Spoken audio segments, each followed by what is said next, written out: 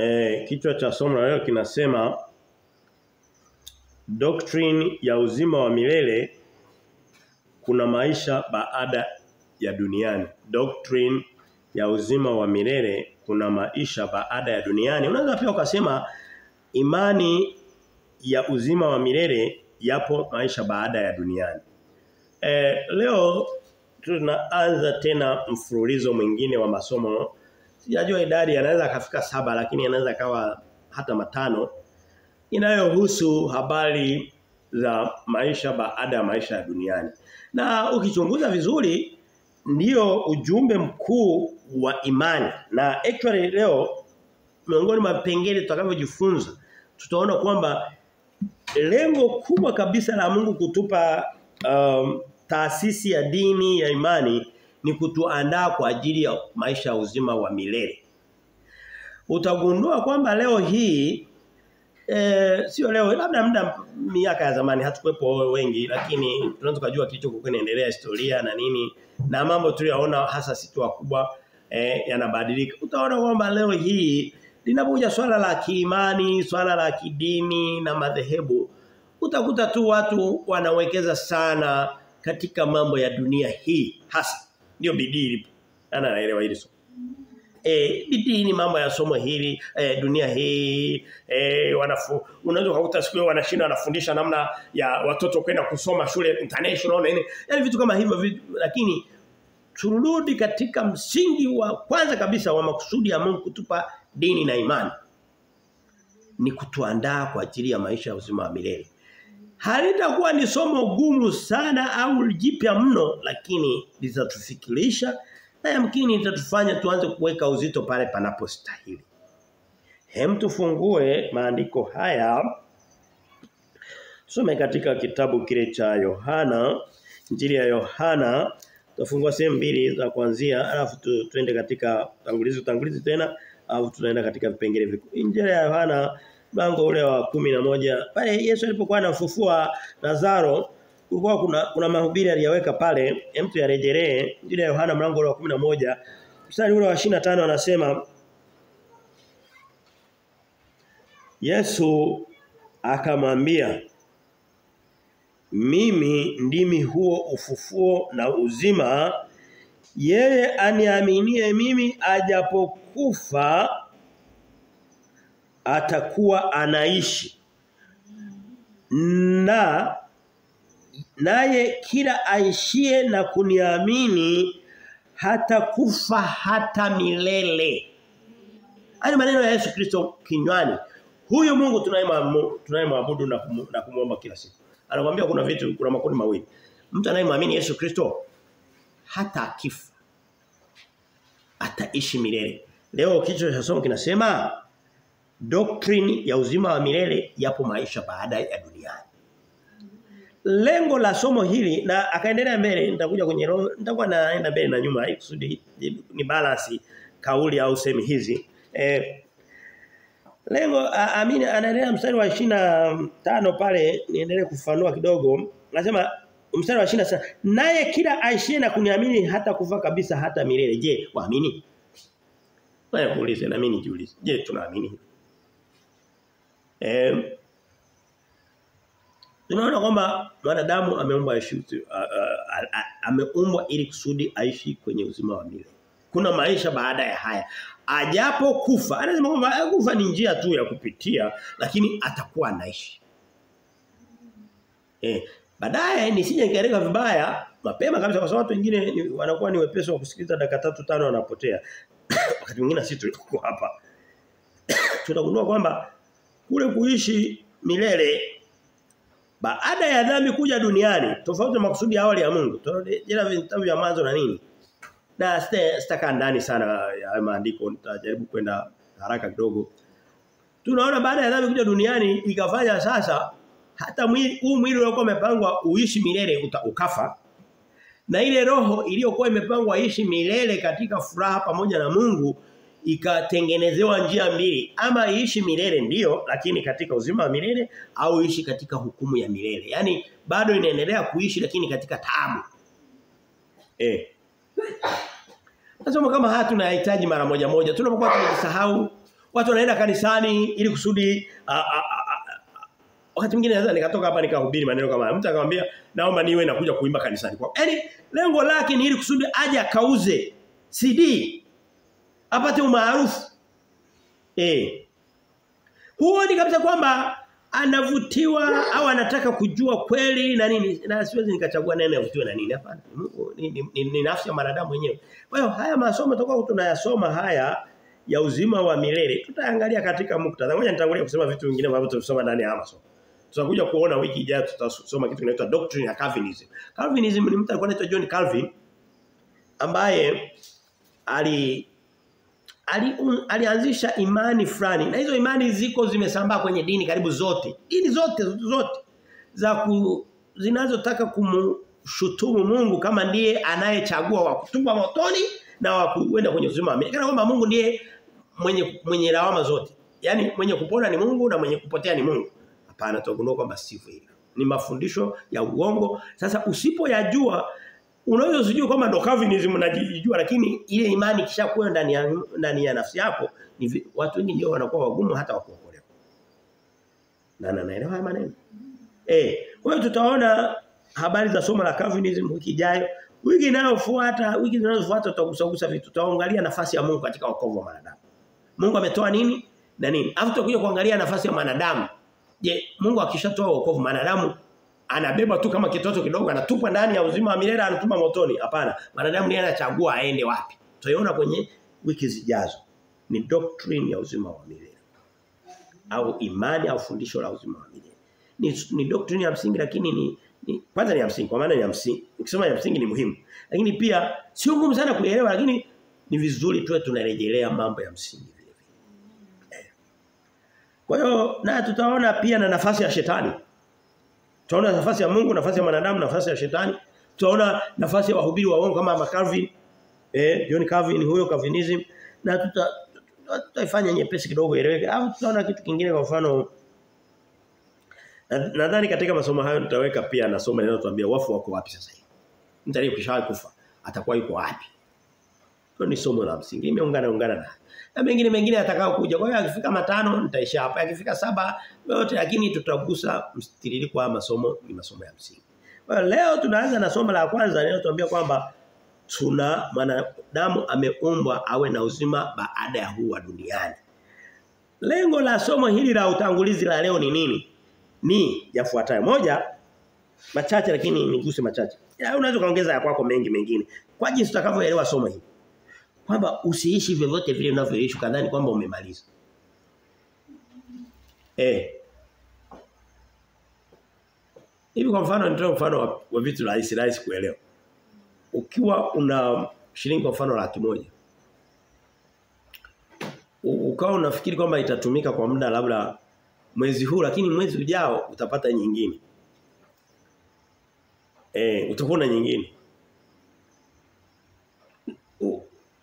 Ile laki moja katika hali ya kawaida kama ulikuwa unaitumia ndani ya mwezi mmoja unaweza kununua chochote. Yaani unakuwa unaitumia tu vyote usinajua kama mwezi mwingine siku na nyingine sina haja ya kuhangaika.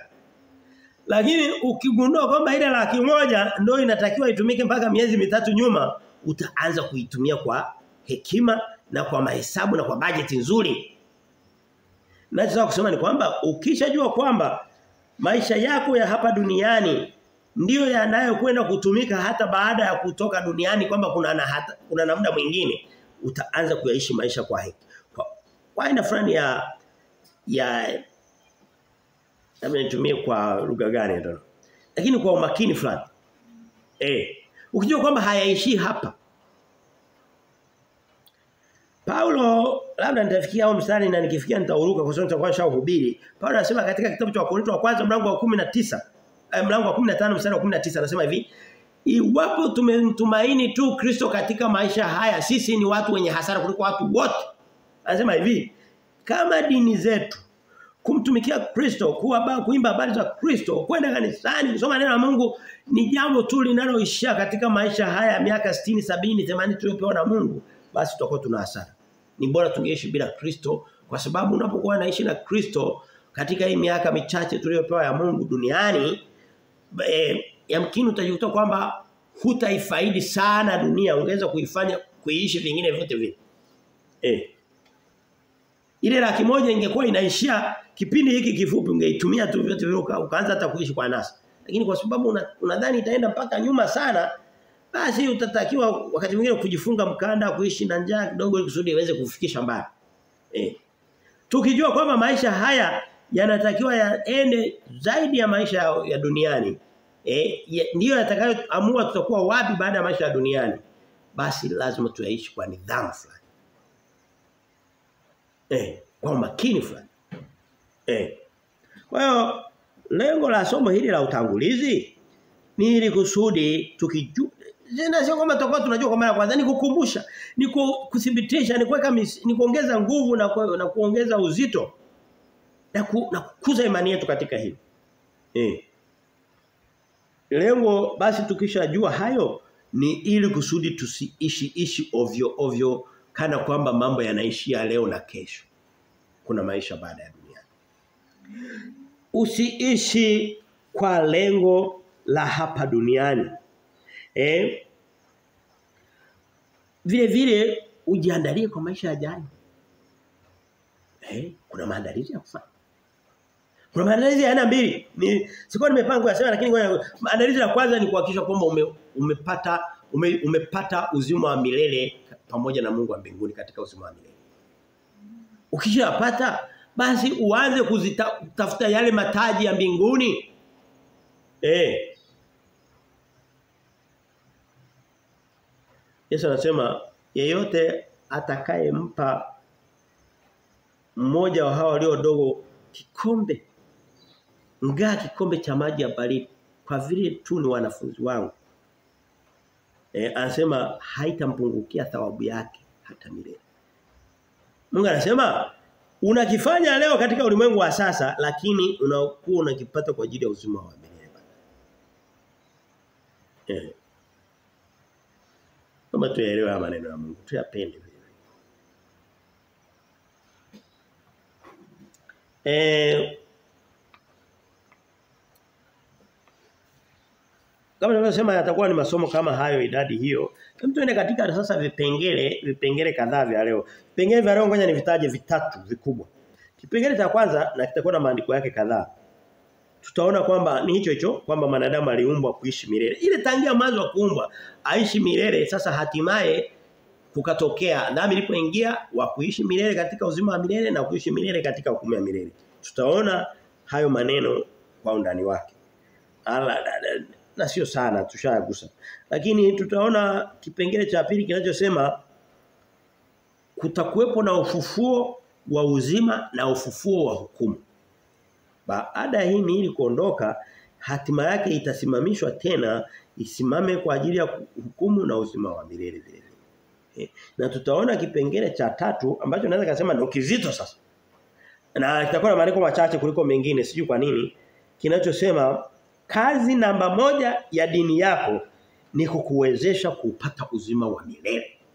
Ukiona kuna dini inasisitiza baraka inasisitiza sijui ndoa yako mpate mchumba, upate kazi fanya. Haina ubaya, lakini visiwe ndivyo vitu vya kwanza. Kwani Yesu hakufanya vitu vya duniani lakini kitu alichositiza si uzima wa milele. Wakufufua wafufua. Kwani kwa Yesu alimfufua Lazaro tulipoanzia pale. Je, Lazaro alikufa tena baadaye au nadhani kwamba bado anaishi mpaka sasa? Alikufa. Eh. Paulo alifufua watu wengi. Petro alifufua mtu. Watu sio mtu, alifufua hata Dorcas. Eh. Lakini wale watu walikuja kufa kwa sababu ni malengo madogo. Malengo makubwa ni ule ufufuo wa mwisho wa uzima wa milele. Ambao tutafanana na Kristo alipofufuka mtu pekee au nafsi pekee iliyowahi kufufuka ufufuo wa, wa, wa milele ni moja ni Kristo anasema ndo alikuwa malimbuko aliyetangulia wengine tutafata nyuma yake.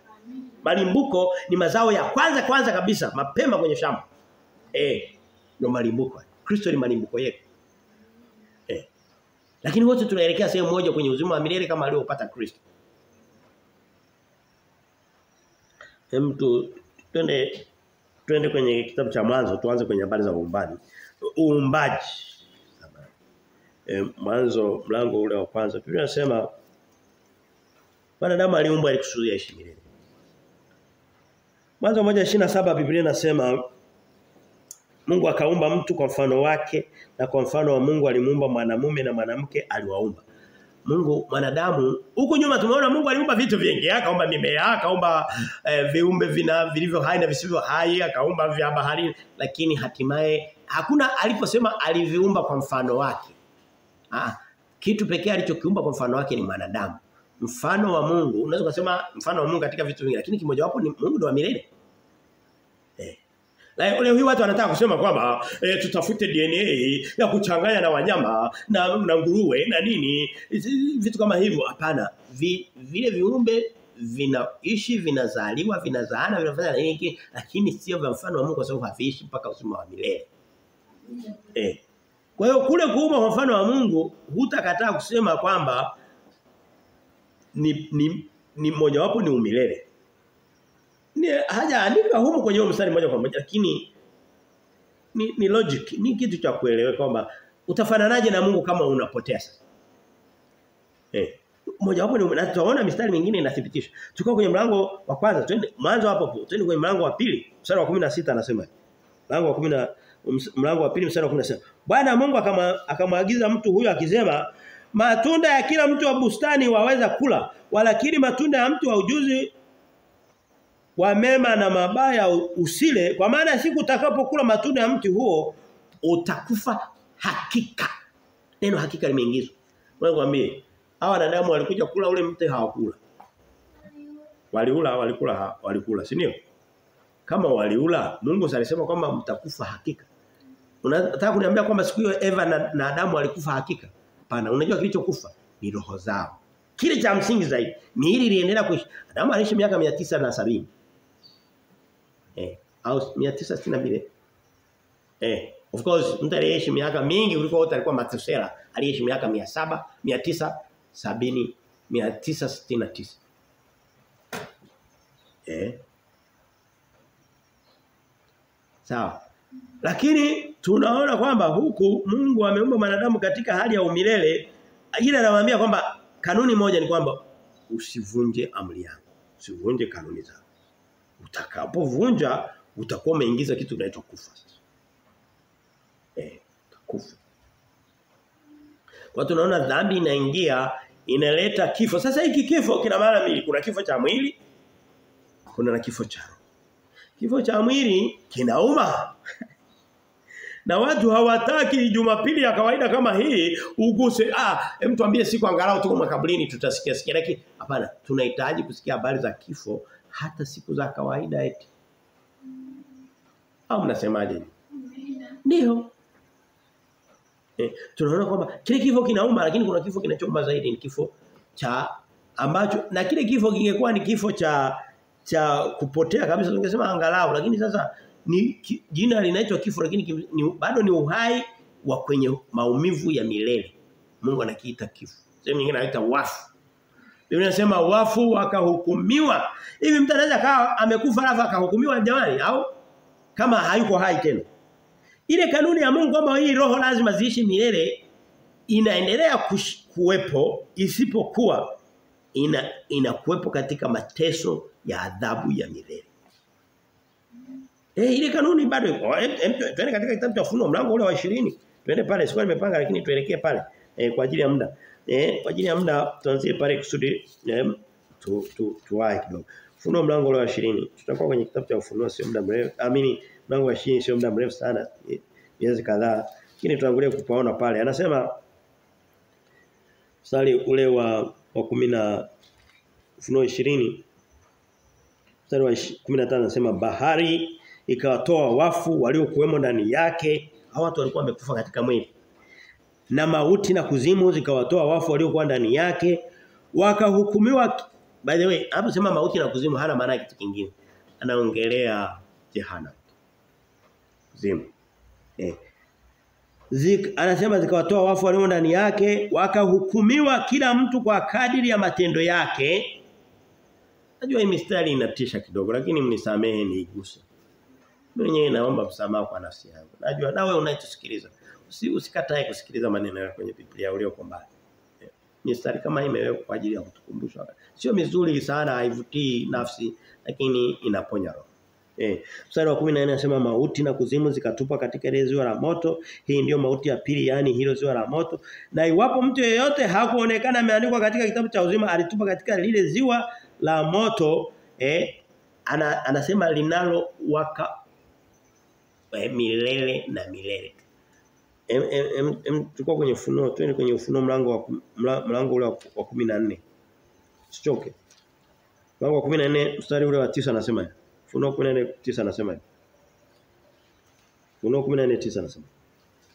Na mwingine malaika watatu akafuata akisema kwa sauti kuu mtu awaye yote akisujudu huyu mnyama na sanamu yake na kuipokea chapa katika kibaya cha uso wake katika mkono wake yeye naye atakunywa katika mvinyo ya ghadhabu ya Mungu iliyotengenezwa pasipo na kuchanganywa na maji katika kikombe cha hasira yake naye atateswa kwa moto na kiberiti mbele ya maraika watakatifu na mbele za mwanakondoo na moshi wa maumivu yao.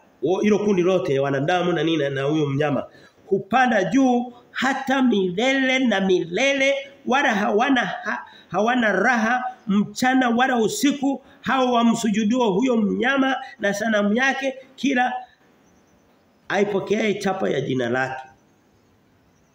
Hapa anaongelea ni kama kundi la waovu lakini upande wa wale walio watakao kuwepo kwa kumpokea mpiga Kristo. Lakini kundi lao wote wanatumwa katika ziwa la moto. Ziwa la moto ni la milele na milele na milele na milele. Wanaitwa wafu kwa sababu wamekosa kukaa na Mungu mwenye uzima wa milele lakini watakuwa wanasikia maumivu Ngoja nitangulie pia kuongelea kitu kingine. Kuna kitu kina kuna makanisa fulani. Ninapokuwa nahubiri lazima niguse injili za uongo. So ndizo zinapotosha watu. Unaweza kusoma vizuri kwenye Biblia kuelewa lakini ukikumbuka kwamba ushafundishwa kitu kinyume ndio unachukua kile. Kuna injili zinasema kuna injili inahubiriwa na kanisa la Sabato. La Jumamosi. Inaitwa total annihilation. Yaani kwamba mtu ata, uh, moto upo sawa ila utakachokifanya na niliwahi kusikia mimi mwenyewe kwa macho kwa masikio yangu nilikuwa bado kijana kijana zamani kidogo.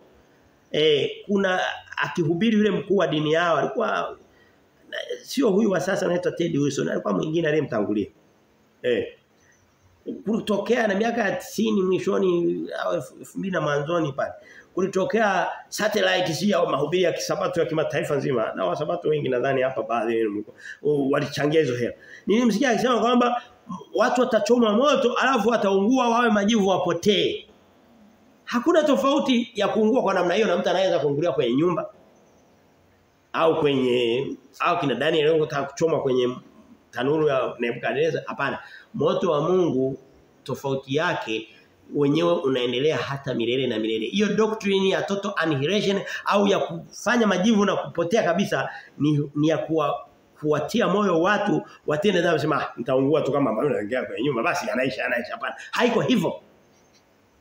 Haiko hivyo nani ameelewa hili somo? Eh Mungu anasema ni milele na milele tofauti ya huu moto ini. Kwanza Biblia inasema utakuwa ni moto mkali zaidi. Na rangi yake itakuwa sio ya kawaida e, utakuwa anasema una rangi inaitwa crimson. Yaani sio mwekundu, ni kama wanjano, mwekundu, mwanjano, yani katikati ya njano na nyekundu na pink. Eh. Na ni wa milele.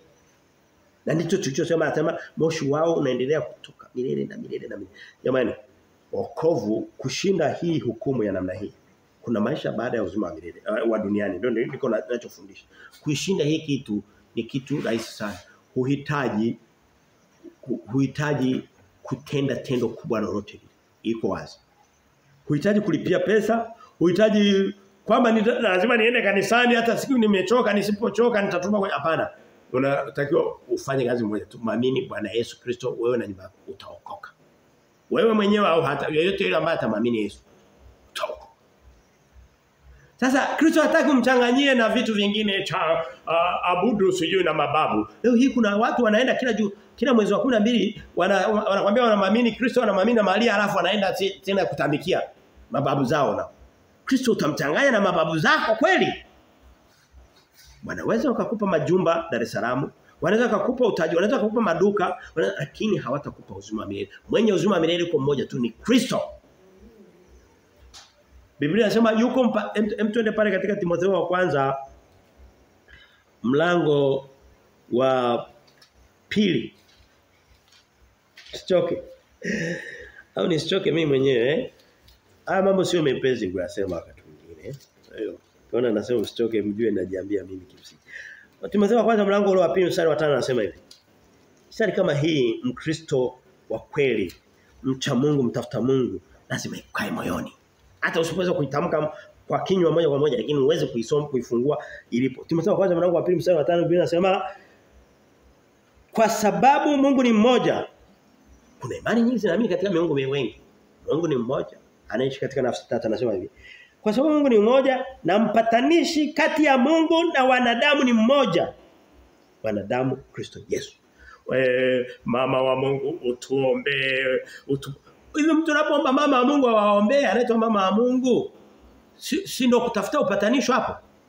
Si ndio upatanisho? Biblia ndicho inachosema. By the way, yule sio mama wa Mungu anayemuomba, ni malikia wa mbingu. Nenda kasome katika kitabu cha Yeremia mlango wa saba na mlango wa 44.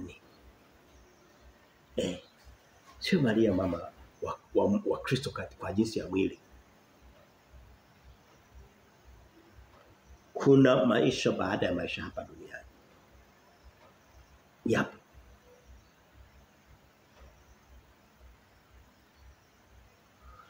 Tuende kwenye kitabu cha mwanzo tulipokuwa pale tuta tutamaliza maliza mapema. Hivi kwa mfano tukichapa unaweza ukaniambia kwamba hukuelewa ukufundishwa somo la kukujenga. Hata hapa tumemaliza tumetoka tumejifunza. Hapa naweza kawaambia unaweza kusoma ni masomo ambayo makanisa hayatasoma kwa muda wa mwaka mzima. Kama angesoma kwa mwaka mzima singeshabadilika.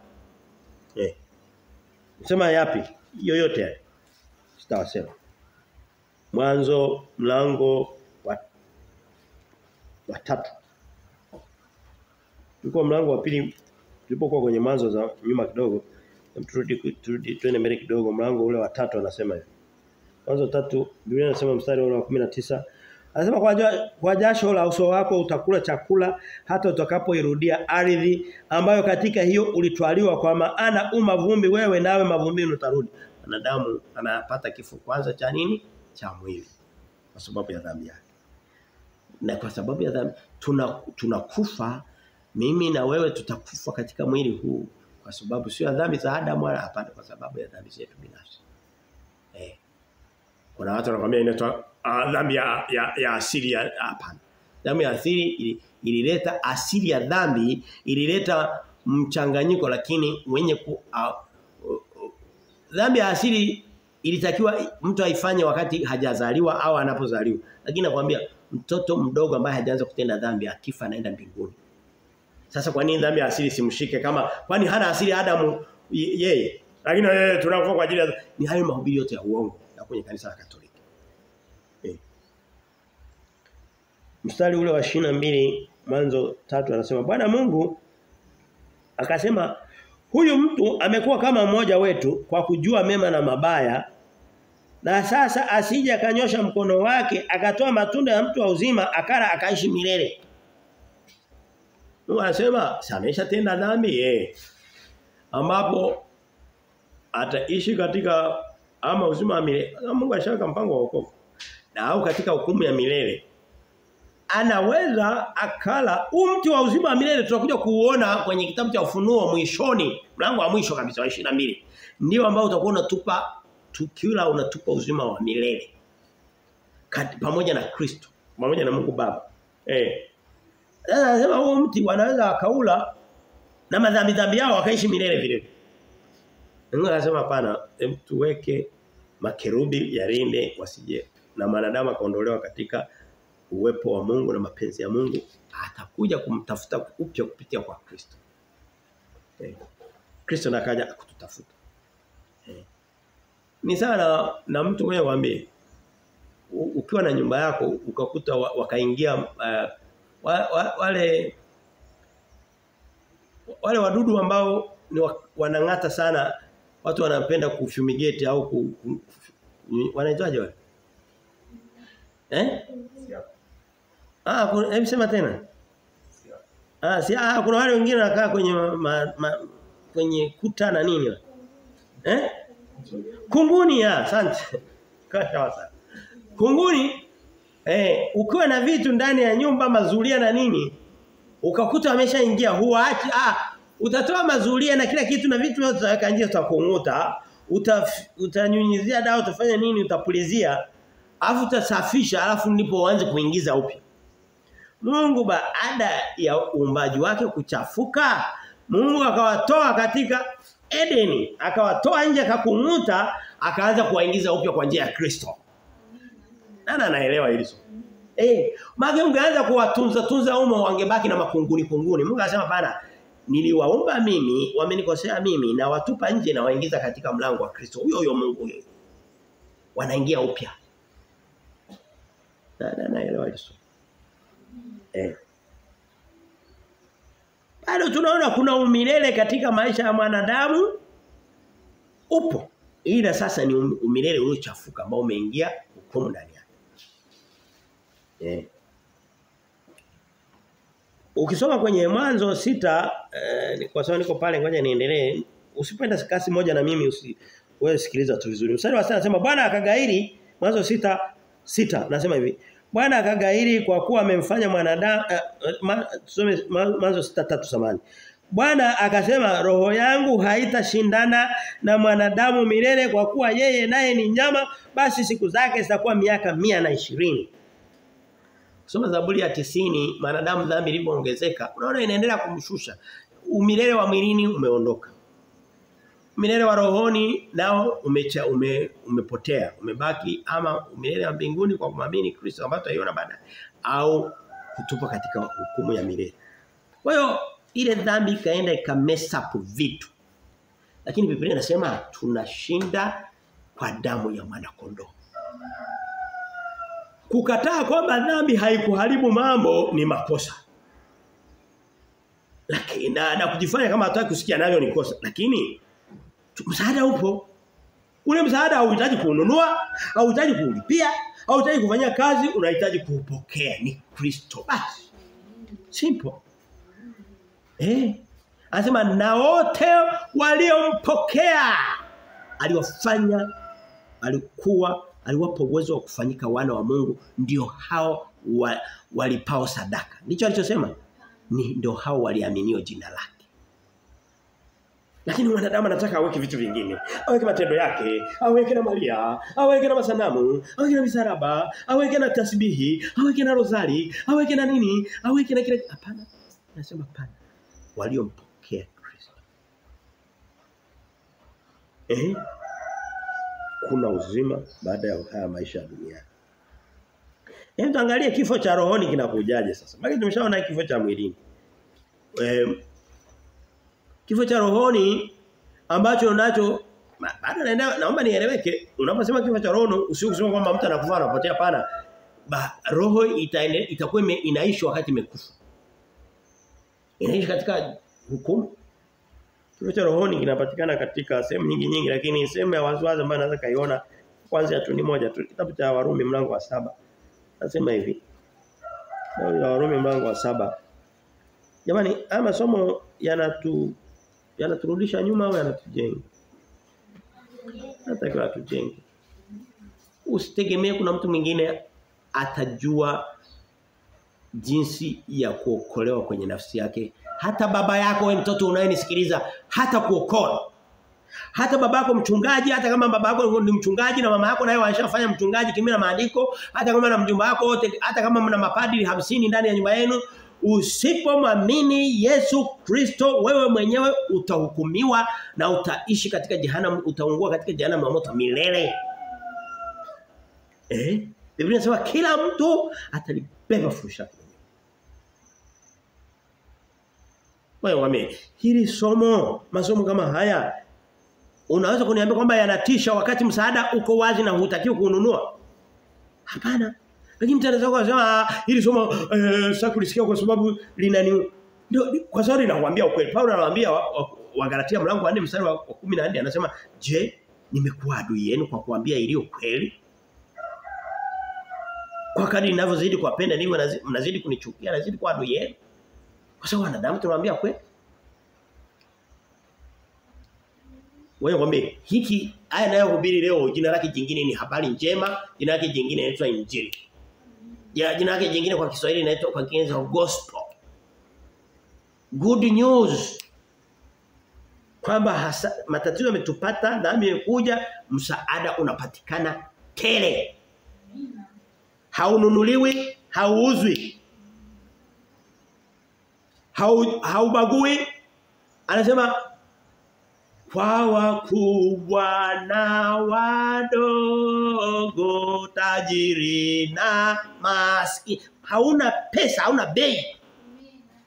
Wakubwa na wadogo mataji hauna rangi hauna mwanamke hauna mwanaume ni wa dunia nzima. Lazima kwa maana jinsi hii Mungu aliupenda ulimwengu hata akamtoa mwanae wa pekee Yohana 3:10 na sita mstari maarufu kuliko yote ili kila mwamini aokolewe asipotee bali awe na uzima wa milele. Hajasema kila alipesa taka kila ndaka hadi kila ufanye nini. Ni vitu, ni vitu vizuri Mungu hajavikataa lakini Mungu angeviingiza vyote watu bado wangepotea. Mungu huyu ni mwema kiasi gani Sawa, hiyo vitu ni vyema. Lipa sadaka sawa. Nini? Lakini usifanye hivyo kama hujaokolewa kwa sababu utakuwa unapoteza muda wako. Okolewa kwanza alafu fanya hivyo.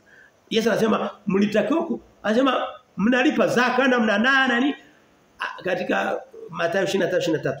Lakini mmesahau matendo makuu ya sheria, imani ameingiza mle. Hamna imani ya wokovu. Nikodema anamwendea Yesu mlango wa 3 wa kitabu cha Yohana ana Yesu anasema wewe ni mwalimu wa wa, wa, wa Wayahudi na wewe hujui mambo haya. Hujui hata maana ya kuokoka. Na ndiye unawafundisha hekaluni kila siku Nikodemu.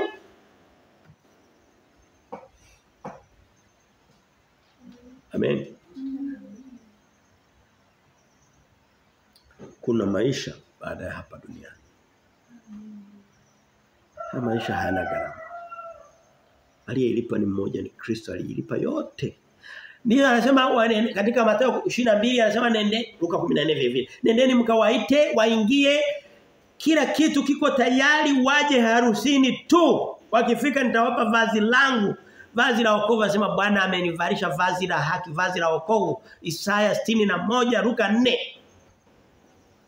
Huingii na chochote kwa Kristo.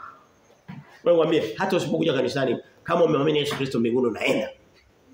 Lakini kwa nini usije kanisani ili kusudi uishi maisha yenye ukamilifu mbele za Mungu basi. Hoja ya pili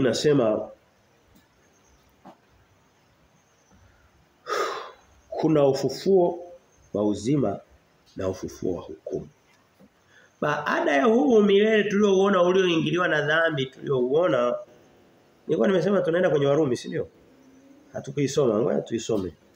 80 kidogo. Vitu vingine baada ya kufungua Warumi nilianza kuhubiri mambo mengine lakini nayo ilikuwa ni Biblia. nasomea mistari mingi kichwani tu. Mlango wa saba mstari ule wa tisa anasema hivi Warumi. Sema nami na alikuwa hai hapo kwanza bila sheria. Mtoto mdogo hana sheria. Mtoto mchanga hana sheria. Unaweza kumwambia kwamba eh hem kunywa maziwa, hem nyonya alafu kuna na sheria Mungu anajua hapana anakuwa hana sheria. Anasema nilikuwa hai kwanza bila sheria. Ila ilipokuja ile amri dhambi ilihuika nami nikafa. Tunapojua sheria ya Mungu tumeshakuwa wakubwa wa kuelewa mema na mabaya. Kwa sababu Biblia inasema mwanadamu alijua mema na mabaya alipokula eh, alipokula yale matunda ya aliyo Mungu aliyomzuia.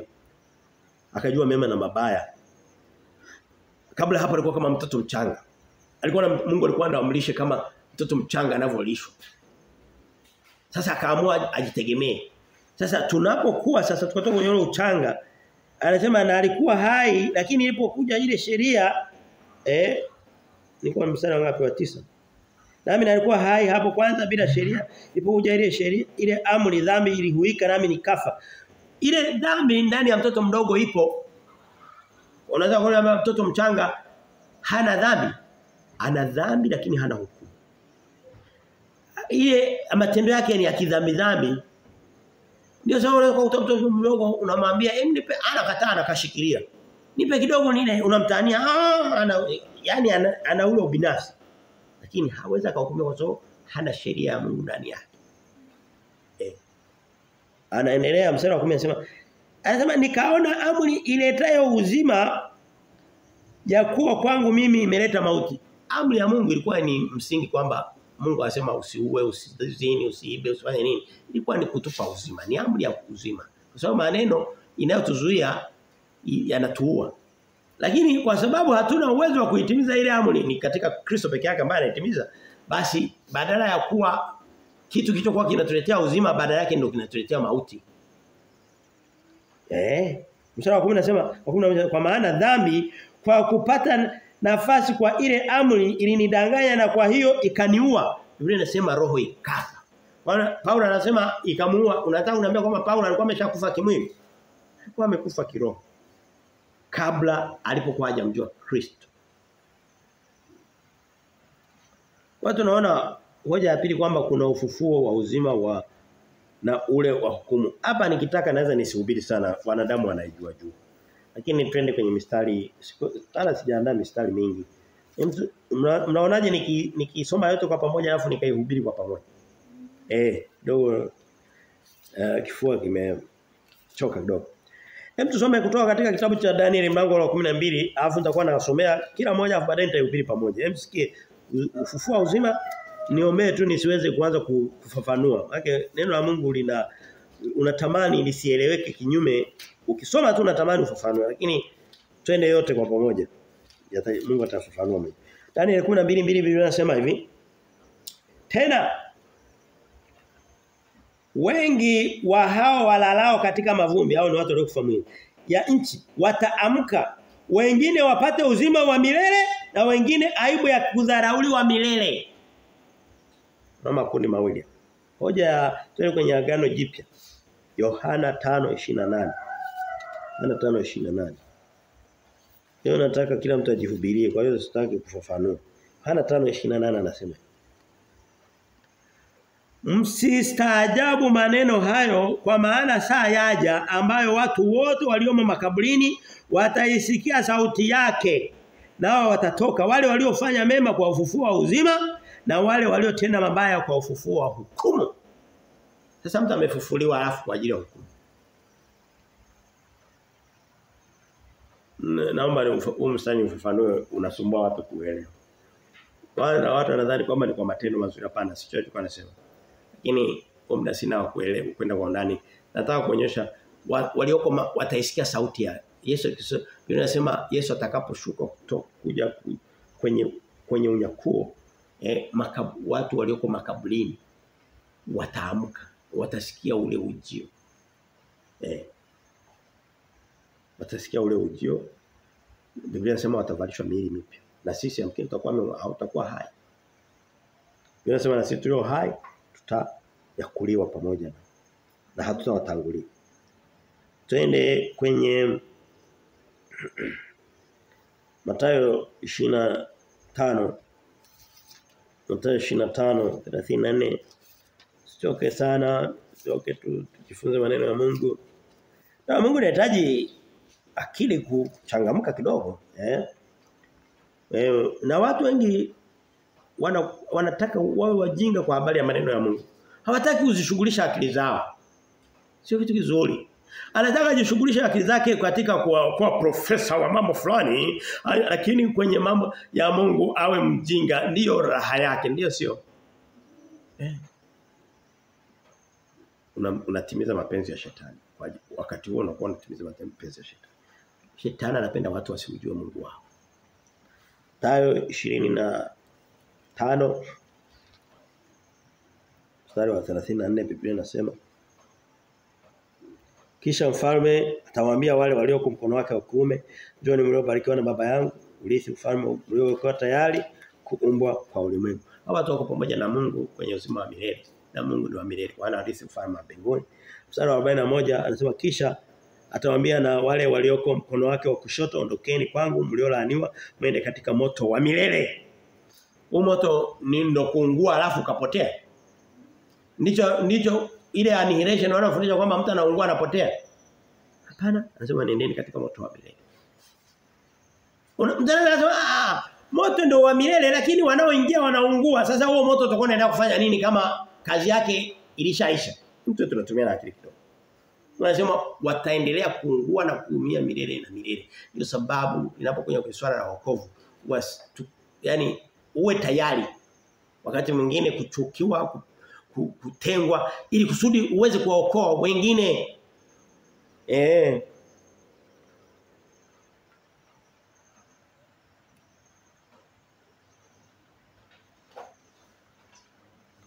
Tulikuwa kwenye ufunuo mlango wa ishirini pale tupaone tena lakini hatutaenda mstari wa kumi na tano twende kwenye mlango ule wa ishirini tusome mstari wa kumi na mbili ufunuo.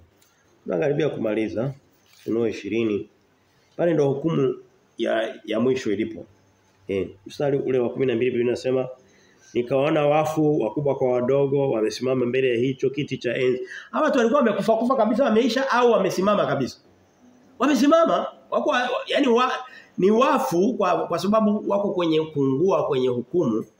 Na unajua wametokea wapi jehanamu? Ni hatari kweli kweli. Alafu wako wanapiti, wako njia moja wanaelekea kwenye ziwa la moto. Ni kitu cha hatari kabisa. Huwa nalinganisha hii kitu mnielewe mnisamee nipoteze muda kidogo lakini sio kupoteza nikufafanua. Huwa nailinganisha na mtu ambaye anaenda unakuta mtu ameua. Kisha ua anaenda anawekwa eh uh, roka uh, mahabusu. Gerezani hivyo hivyo miaka mitano, sita, saba, kumi. Unakuta kesi haijaisha. Eh, mnashasikia hiyo kitu? Unakuta yuko sawa sawa na mfungo mwingine yoyote aliyehukumiwa. Tena unaweza kukuta yeye ana hali mbaya kwa sababu mwingine unaweza kukuta anakaa na mtu aliyehukumiwa miezi mitatu tu anamwacha huko. Alafu baadaye anakuja anapelekwa tena mahakamani kesi inakatwa anahukumiwa kifungo cha, cha maisha jela. Anarudi pale pale alipokuwa mfano wake lakini anabadilisha kiwango cha kukaa mle. Huku ametoka kusema kuzimu inawa, inawatoa kuzimu kimaanisha jehana, Moto wa milele ule moto uliokuwa ndani ya, ya dunia ndani katika dogo jehana. Kutokuwa kuna ziwa la moto litatengenezwa lita Mungu anasema atatengeneza lakini litakuwa nje nje ya dunia mpya na nchi mpya. Lita eh, ndipo atachukua hawa walio kwenye jehanamu ya kwenye dunia moto ule ule ukali ule ule anawahukumu anawa sasa ndo amepelekwa mahakamani anahukumiwa kifungo cha maisha jela alafu anawapeleka kwenye ziwa la moto kwenye mazingira yale lakini sehemu tofauti inatisha Ngoja nikwambie kama umemwamini Yesu Kristo na moyo wako hauna shida. Usiangalie unatenda dhambi utende dhambi. Hapana. E, ukitenda dhambi sina siwezi nikakwambia kwamba uko salama. Mungu anaweza kukunyima baraka, unaweza ukaanguka, unaweza kukafa mwilini, lakini chochote kile kitakachokupata, kitu ambacho na akizi hakiwezi kukupata kama maamini Yesu Kristo peke yake na kukiri kwa kinywa chako, haijalishi mbatizo hujabatizwa, lakini umemwamini Yesu Kristo na moyo wako hauna shaka. Biblia inasema mioyo yetu ikishuhudia na Roho Mtakatifu ashuhudia pamoja huwezi ukakutwa na hilo jambo. Mungu ndiye alichosema. Na hakuna tashwishi. Hebu waulize watu wa makanisa. Mimi wahi kusikia mhubiri mmoja tena tulikuwa tunashirikiana kwenye mambo ya imani. Eh, ah, mambo ya siku za mwisho na mambo ya hukumu na Biblia haiko wazi wazi. Eh, haiko wazi, haijulikani vizuri. Wewe Mungu wewe wazi kiasi gani? Ana kitabu lote la ufunuo milango ishirini miwili kubwa hivi linafafanua nukta kwa nukta nukta. Alafu naambia Mungu hayuko Yesu anahubiri Mathayo 24 yote. Mathayo 10. Luka 21, Marko 13. Watu wasionika wa kwanza karibu kitabu chote, mlango wa 4, mlango wa 5. Watu wasionika wa pili, mlango wa pili. Wote huko Mungu aeleze. Isaya anaeleza. Hoja ya mwisho uh, ni hoja ya kufanyia kazi. Wewe ulioko hapa na wewe unayetufuatia kutoka. Ni hoja ya kazi. Hii ilikuwa ni fact mambo yalivyo. Hii ya pili ni action, ni matendo, ni vitu vya kufanya. Hoja ya tatu inasema kazi namba moja ya dini yako ni kukuwezesha kupata uzima wa milele.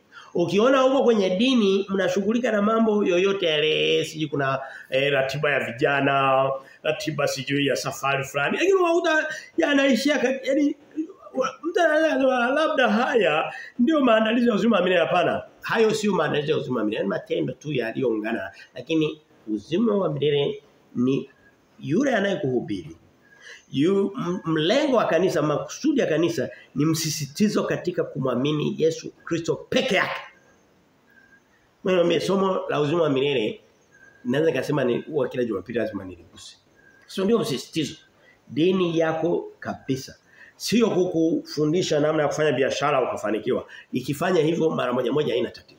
Sio namna ya kufundisha sijui peleka watoto wako sijui. Sio kujenga shule kuhakikisha kwamba shule zote Tanzania zimekiwa na dini hapana. Sio hospitali sio nini vyote hivyo sio vibaya. Lakini tafuteni kwanza ufalme wa mbinguni na haya mengine yote yatakuja kama ziada kama nyongeza. Ila anachosema dini yako lazima uone kabisa inasisitiza uzima wa milele na lisipite wiki moja wiki mbili jumapili moja bila kuona kwamba mistari ya wokovu inarejelewa tena kwa sababu watu wanasikia kwa wakati tofauti na muda tofauti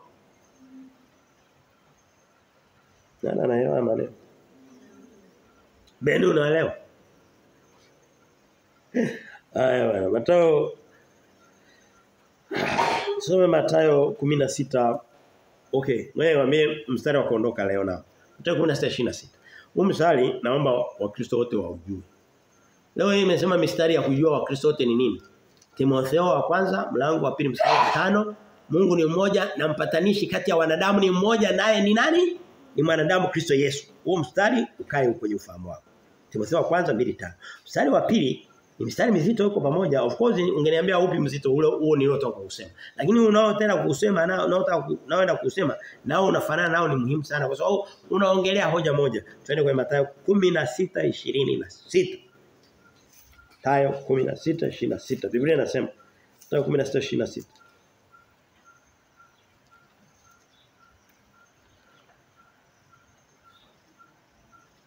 Kwani atafaidiwa nini mtu? Mathayo 16:26. Kwani atafaidiwa nini mtu akiupata ulimwengu wote na kupata hasara ya nafsi yake au mtu atatoa nini baadaye nafsi yake? Anataka kusema ni, ni hoja hiyo hiyo kwamba dini yako lazima ihakikishe kwamba inakupa faida ya kupata uzima wa milele. Eh huna utakachofaidi unapokuwa kwenye dini na kufundisha kwamba tunataka tujenge hospitali mitaa hii. Baadaye hiyo hospitali tawatibu lakini kama ni kuzeeka mtazeeka mtakufa. Na hukumu mtakutana nayo. Eh mnaweza mkajenga hata kama mngesema kila nyumba iwe na hospitali na ndani yake. Au shule. Au sijui tu tuko tumaisha chama cha cha kukopa haina shida. Lakini Biblia inasema atafaidiwa nini mtu? Utakuwa na faida gani unapokuwa kwenye dini ambayo inaweza kukupa vitu vyote, kukupa ulimwengu wote, ika e, tunataka tunasafirisha vijana wanaenda Marekani wakafanya ikakupeleka kila sehemu lakini ukapata hasara ya nafsi yako.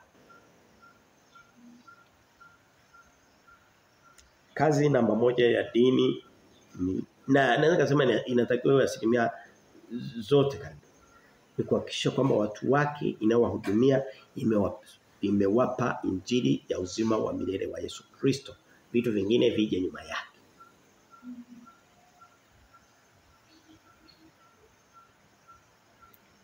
Biblia inasema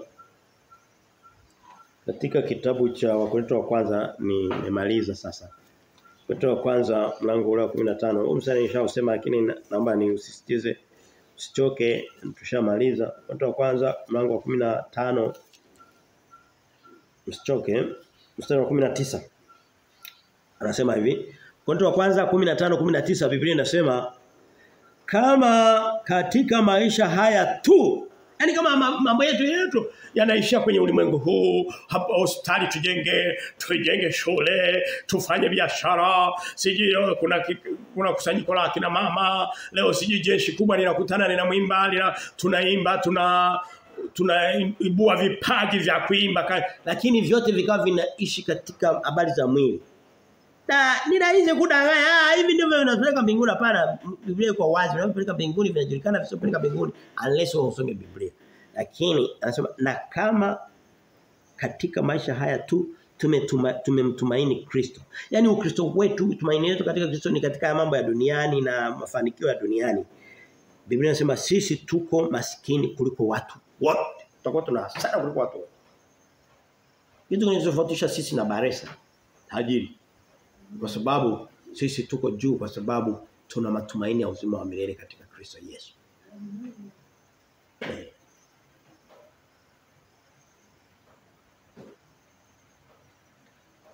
Yesu anasema katika kitabu mtu nishafunga lakini eh tusome katika kitabu najua hau- hautapendeza baadhi ya watu lakini wewe unaomba upendeze Aliyesema ni Yesu.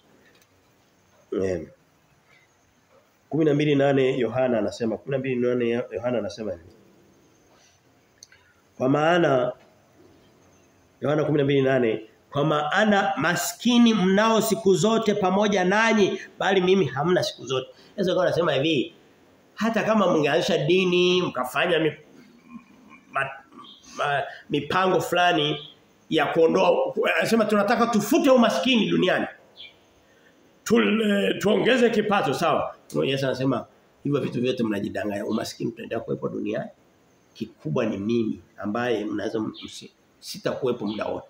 Wewe kwambie mtu asipompata Kristo akapishana naye makanisani mara kwa mara atafika sehemu fulani hana uwezo wa kukutana na Kristo tena. Kwa sababu ameshapishana muda mrefu. Eh. Nasema hamtakuwa nami siku zote. Maskini watakuwa. Wagonjwa watakuwepo. Hata kama mkisema tunataka tujenge hospitali zote ziwe nyingi kiasi gani sawa haina ubaya lakini bado mtaendelea kuwa na wagonjwa katikati yenu. Na unaweza kukuta yule mwenye hospitali mkurugenzi mkuu ndo anauma wa kwanza. Eh. Yesu anasema kwa sababu niko kwenye Yohana nitaka kuacha mstari lakini sio nishauandaa ngoja ni usome. Yohana 10:10 Biblia inasema au ndo mstari wa mwisho. Kutoka hapa na, naomba tunamaliza. Biblia inasema mstari wa tisa Yohana 10:10 eh Yohana 10 nianzie tisa ni ikusudi mfikie 10 anasema mimi ndimi mlango mtu akiingia mi kwangu eh mtu akiingia kwa mimi ataokoka. Anasema kuna mlango. Kwani Yesu anasema ipo milango mingi? Anasema yeye ni peke yake ndo mlango. Ataingia na kutoka naye atapata malisho. Mstari wa 10 ndio nataka nisisitize nasema mwizi haji ila aibe na kuchinja na kuharibu mimi nalikuja ili wawe na uzima kisha wawe nao tele. Yesu anasema mission yake, makusudi, malengo ya kuja ni kusudi wawe na uzima tele.